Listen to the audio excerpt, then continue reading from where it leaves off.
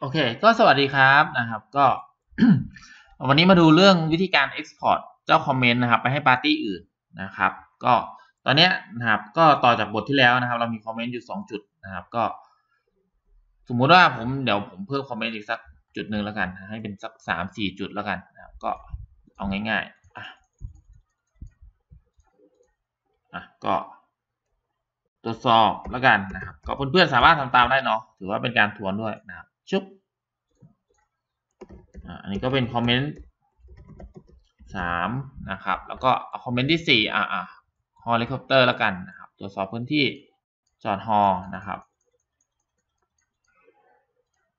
ชุบตรวจสอบพื้นที่จอดฮออันนี้ก็ ตรวจสอบพื้นที่จอดฮอจริงๆ น่าจะ copy มาก็ได้นะ โอเค ก็มี 4 comment แล้วนะครับ ทีนี้ก่อนจะ export ไปให้คนอื่นนะครับ ปกติแล้วเนี่ย เราจะลบวิวที่ไม่เกี่ยวข้องออก วิวนี้มันติดมาตอนเรา export จาก Revit นะลบออกไป แล้วเราก็จะสร้างโฟลเดอร์ด้วยนะครับ สร้างโฟลเดอร์มาเก็บ นี่ก็จะสมมุติว่าเป็น comment รอบที่1นะครับอะcomment sharp หนึ่งนะครับ comment sharp หนึ่ง submit วันที่7 0 9 2 0 1 8นะครับ โอเค แล้วก็ drag เจ้า comment นะครับ กด shift ค้างนะครับ แล้วก็คลิกที่ไอคอนนะครับมาใส่สีเหลืองนี่อ่าโอเคอ่าก็แล้วเวลาเราทำงานเวลาเราทำงาน สมมุติว่ามันเกิด comment ครั้งที่สองเนาะสมมติอันนี้ผมเอา scene scene จากการทำงานจริงมาให้ดูเลยนะครับคลิกขวา new folder แล้วกันอันนี้คอมเมนต์ sharp สองสมมุติว่าเกิดขึ้นพรุ่งนี้แล้วกันนะศูนย์แปดศูนย์เก้าสองศูนย์หนึ่งแปดเอ้ยแมว เอาเป็น sharp ศูนย์แล้วกันนะครับ เกิดขึ้นวันที่ห้าศูนย์ห้าศูนย์เก้าสองศูนย์หนึ่งแปดโอเค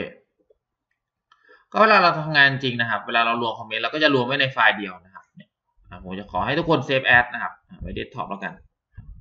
เนี่ยก็จะเป็น working file นะครับที่อยู่ใน center นะครับอยู่ในพวกเรียกอะไรนะเซิร์ฟเวอร์นะครับก็ที่ให้พนักงานทุกคนเนี่ยเปิดไฟล์เดียวกันนะครับ เปิดไฟล์เดียวกันได้นะครับ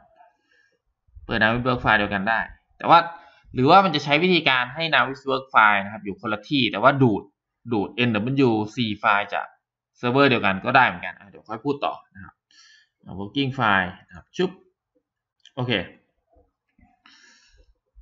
ทีนี้นะครับพอเราจะ export เฉพาะคอมเมนต์ไปให้เจ้าอื่นนะครับให้ปาร์ตี้อื่นเนาะก็อย่างที่ผมบอกเราต้องลบลบอ่าคอมเมนต์เดิมออกก่อนคอมเมนต์ที่เราจะไม่ส่งนะครับออกก่อน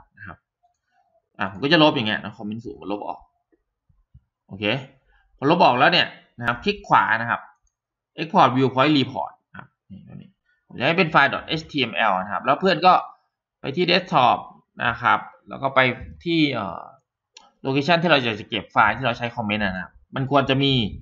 อ่าโฟลเดอร์มาเก็บอ่าโฟลเดอร์มาเก็บสมมติว่าคอมเมนต์สำหรับการสอนคอมเมนต์ double click เข้าไปนะครับ ก็ตั้งชื่อว่าอันนี้ก็จะเป็นคอมเมนต์ com คอมเมนต์หนึ่งนะครับศูนย์เจ็ดศูนย์เก้าสองศูนย์หนึ่งแปดโอเคนะแล้วก็กดเซฟอ่าเสร็จแล้วนะครับ เสร็จแล้วนะครับ ก็เพื่อระวังอย่าไปอย่าไปเซฟไฟล์เนาะถ้าเซฟต้อง save as นะครับ เพราะว่าไฟล์ที่เราทำงานเนี่ยมันควรจะมีคอมเมนต์หลายๆคอมเมนต์อย่างเงี้ยนะก็จะเอ่อ ก็ก็ new นะครับ new ก็ไม่เซฟนะครับแล้วก็เปิดกลับขึ้นมาใหม่ working file นี่แบบนี้นะครับ ก็จะมีคอมเมนต์รวบรวมไว้หลายอันนะครับโอเคคอมเมนต์เราจะได้คือเราลบออกเพื่อเพื่อ export คอมเมนต์หนึ่งเฉยๆนะคอมเมนต์เดิมเราจะได้ยังอยู่นะครับเสร็จแล้วเรามาดูนะครับ เรามาดูนะครับโอเค มาดูคอมเมนต์ที่เรา export ไปนะครับ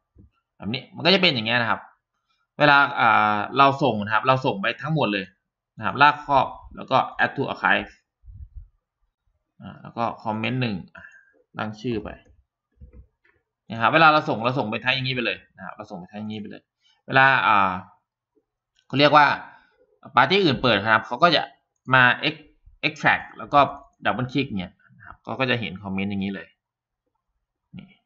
ก็คลิกที่รูปนะครับมันก็จะซูมรูปขึ้นมาโอเคแบบนี้สิ่งที่เขาจะเห็นนะครับคือการ export เป็น report โอเค ทีนี้มาดูวิธีการ export อีกแบบหนึ่งนะครับวิธีการ export อีกแบบหนึ่งก็เรียก export เพื่อเอ่อ export เป็นไฟล์ครับ เป็นไฟล์ viewpoint เพื่อเอาไป เอาไปให้ให้สมมติว่าให้ consult แล้วกันเขามี Navisworks นะครับเขาจะได้เอาไฟล์เนี่ย save view พวกเนี้ยเข้าไปอยู่ในเครื่องเขาเลยนะครับโอเค ก็ผมขออนุญาตลบอันนี้ออกก่อนนะครับโอเค ก็มาดูวิธีการนะครับทำอย่างนี้นะครับทำคลิกขวานะครับ แล้วก็เลือก export เป็น export viewpoint นะครับเอาไปที่ desktop นะครับ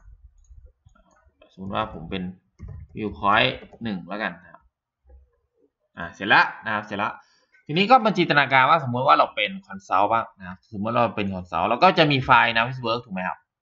แต่ว่าเราจะไม่มีไฟล์ comment นี่เราจะไม่มีนะครับพอเราส่งอ่า comment view comment ไฟล์ให้เขานะครับในรูปแบบรูปแบบที่สองเมื่อกี้ก็คือรูปแบบของการ export viewpoint ธรรมดา เขาก็สามารถ import นะครับเนี่ยคลิกขวา import viewpoint ที่เราส่งนะให้ได้เนี่ยเป็นไฟล์ .xml open เข้ามา นี่เห็นไหมครับเขาก็จะเห็นวิวเห็นคอมเมนต์ต่างๆ โอเคนะครับ ก็คือจะมีทำได้ 2 วิธีนะครับทำเป็นรีพอร์ตกับทำเป็นไฟล์ XML นะครับผมก็ให้เพื่อนๆลองหัดทำดูนะครับ ก็ไม่ยากครับสำหรับคลิปนี้ก็จบเท่านี้ครับ สวัสดีครับ